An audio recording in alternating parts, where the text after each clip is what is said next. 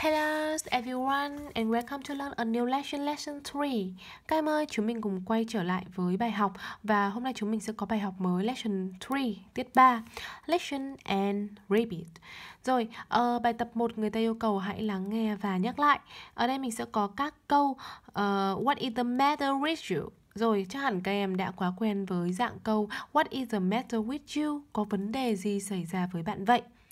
Uh, I have a, a headache. Tôi bị đau đầu. Ok. Rồi, um, thì chúng mình um, chúng mình sẽ cùng um, uh, điểm lại một uh, một số từ mới uh, để chúng mình có thể là uh, hiểu rõ hơn về um, về bài uh, sick ốm này, pain đau này, headache đau đầu, toothache đau răng, earache đau tai và stomachache, đau dạ dày, backache, đau lưng, sore throat, đau họng, fever, sốt, cold, cảm lạnh, the car home Take a rest, nghỉ ngơi, carry heavy thing, mang vác vật nặng, take a shower, đi tắm, go to the hospital, uh, đi đến uh, bệnh viện, uh, go to the dentist, đi đến bác sĩ. Ok.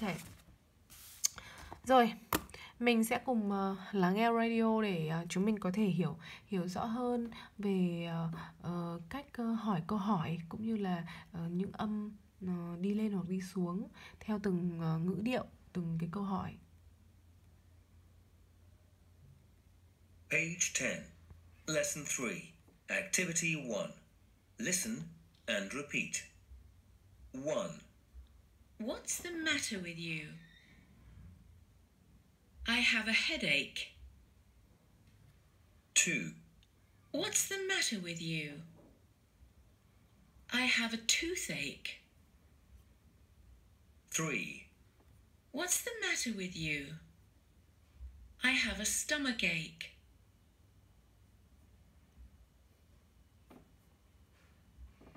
Uh, à, rồi ở đây mình sẽ uh, đọc lại và mình nhắc lại những cái mà câu hỏi này Uh, what is the matter with you? I have a headache. And what is the matter with you? I have a toothache. And what is the matter with you? I have a stomachache. Okay? And listen and circle A or B and then add the um and and then add an answer. Hãy hỏi và trả lời. Rồi, ở đây mình sẽ có những câu uh, câu uh, câu hỏi thứ nhất này. What is the matter with you? Có vấn đề gì xảy ra với bạn vậy? I have a toothache. Rồi, ở đây mình sẽ có câu uh, câu thứ A thì mình sẽ chọn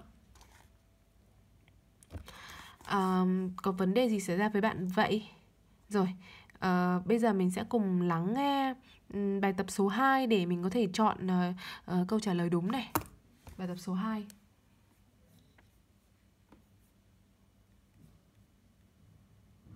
Page 10 Activity 2 Listen and circle A or B.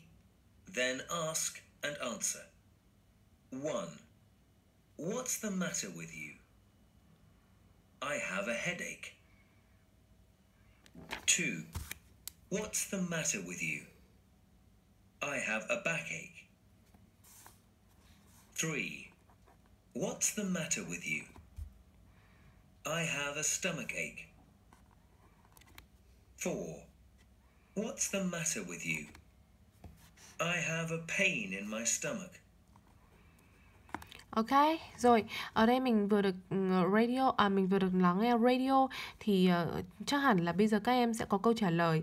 Uh, ở bài tập số 1 mình sẽ có phải điền vào là I have a, a headache. Tôi bị đau đầu. I have a, a headache. Ở đây mình sẽ mình sẽ có những câu I have a headache và câu thứ hai I have a, a. Uh, ờ, tôi bị đau lưng. Rồi cái thứ nhất đau đầu và cái thứ hai là đau lưng. Và cái thứ ba what is the matter with you? Có vấn đề gì xảy ra với bạn vậy? Và cái thứ ba là tôi bị đau dạ dày. I have a, a stomach.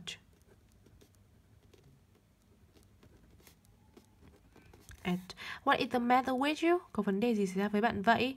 I have a, a pain in my stomach. Rồi. Um, Let's rent. What is the matter with you? Có vấn đề gì xảy ra với bạn vậy? What is the matter with you? Có vấn đề gì xảy ra với bạn vậy? I have a, a toothache. Tôi bị đau răng. You should go to the dentist. Bạn nên đi tới nha sĩ. You shouldn't eat a lot of a lot of sweets. Bạn không nên ăn quá nhiều chất ngọt. What is the matter with you? Có vấn đề gì xảy ra với bạn vậy? I have a, a headache. Tôi bị đau đầu. You should go to the doctor. Uh, bạn nên đến bác sĩ. You shouldn't watch too much television. Bạn không nên xem quá nhiều chương chương trình hoạt hình, uh, quá nhiều TV. Ok. And read and match. Hãy đọc và nối. Sau đó nói lại. How to uh, stay healthy? Uh, cách để uh, sống lành mạnh. Rồi, uh, một một số 1 mình sẽ có what the hand, what the hand tức là rửa tay. It, it, um, what the hand rửa tay. Ờ, ở đây mình sẽ có những cột uh, từ A đến F thì tương ứng với những cột từ 1 đến 6 thì cô sẽ dịch một lượt hết cho chúng mình để chúng mình thì nó sẽ điền dễ dàng hơn. Wash your hand rửa tay, is undo làm press đánh này, keep your nail à, giữ cái móng tay của bạn. Uh, take rồi. Um, ở đây mình sẽ có là Dorothy's twice a day uh, Răng của bạn hai lần một ngày. A shower every day uh, Tắm mỗi ngày Short and clean uh, Ngắn và sạch. Healthy food ừ, Thức ăn lành mạnh Morning exercise regularly Tập uh, tập thể dục mỗi ngày Tập thể dục buổi sáng này. Thường xuyên. Before having meal Có bữa tối. Rồi, wash your hand ở đây mình sẽ có what your hand rửa tay của bạn trước khi ăn. Câu 1 mình sẽ có ý F. Câu 2 eat healthy food. Mình sẽ có ý D. Và câu 3 do do uh, rồi do more uh, do morning exercise regularly. Câu 3 ý E và câu 4 brush the teeth twice a day. Đánh răng của bạn hai lần mỗi ngày. Câu 4 ý A keep the nail Keep the nail short and clean. Hãy giữ móng tay của bạn ngắn và sạch. Câu 5 ý C, câu bộ câu 6 take a shower every day. Câu 7 ý B tắm uh, tắm mỗi ngày. Ok. Rồi chúng mình sẽ cùng uh, đọc lại những cái mà chúng mình vừa làm thì um, chúng mình đọc lại nhiều lần để chúng mình có thể thể thể hiểu và cái những cái cách để sống lành mạnh. Um, White Advent. Bài tập số 5 hãy viết lời khuyên của bạn. Rồi, ở đây mình sẽ có những lời khuyên uh, khuyên Tony là lên làm hoặc không lên làm đối với cái trường hợp của anh ấy. Um, bởi bởi vậy lên câu 1 mình sẽ có Tony had a bad toothache. Um, Tony có một uh, cái trận đau răng rất là kinh khủng. Thì ở đây mình sẽ khuyên anh ấy được là uh, khuyên anh đấy được là anh ấy nên làm gì đó và anh đấy không nên làm gì đó.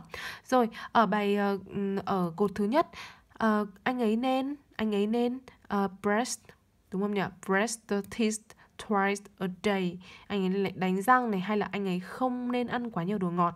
Anh ấy nên đến nha sĩ. Đây là lời khuyên tốt nhất của anh đấy trong tình trạng lúc bấy giờ. Thì bây giờ mình sẽ có là um, là he should.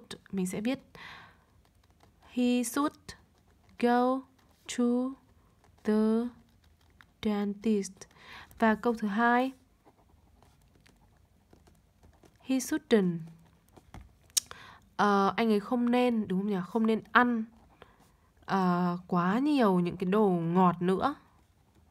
Nhá rồi um, tiếp câu 2 quân have a bad cold uh, quân thì bị ốm uh, bị cảm lạnh này. Rồi. Uh, vậy lời khuyên của anh ấy lúc này sẽ là he should go to the the daughter và anh ấy không nên làm gì nhỉ anh ấy không nên ờ, uh, see Sutton anh ấy không nên làm um, ờ, uh, không nên là đi đến trường. Anh ấy không nên đi đến trường hôm nay. À, uh, see Sutton see Sutton go to the school. Okay à, uh, Phong is stomach ache. Ờ, uh, Phong là bị uh, bị đau dạ dày. Ở đây lời khuyên của anh ấy ở lời khuyên của anh ấy là um, she should um, take a rest. Rồi anh ấy lên nghỉ ngơi và anh ấy không nên uh, không nên um, tập những cái cái bài mà thể dục chẳng hạn nhỉ? Thì ở đây mình sẽ có là she này. She shouldn't um, she shouldn't ờ, play sport. Ok? Um, câu thứ 4 này Phong had a sore throat Phong này có um, bị đau họng. Ở đây lời khuyên của anh ấy cũng là he he should go to the hospital. Anh ấy lên đến bệnh viện để khám này. Và anh ấy không lên uống ví dụ là không nên đi, đi ra ngoài hoặc là anh ấy không nên uống nước lạnh này. She shouldn't